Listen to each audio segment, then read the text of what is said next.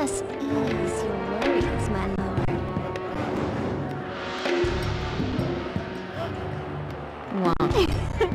he chose us. What about me?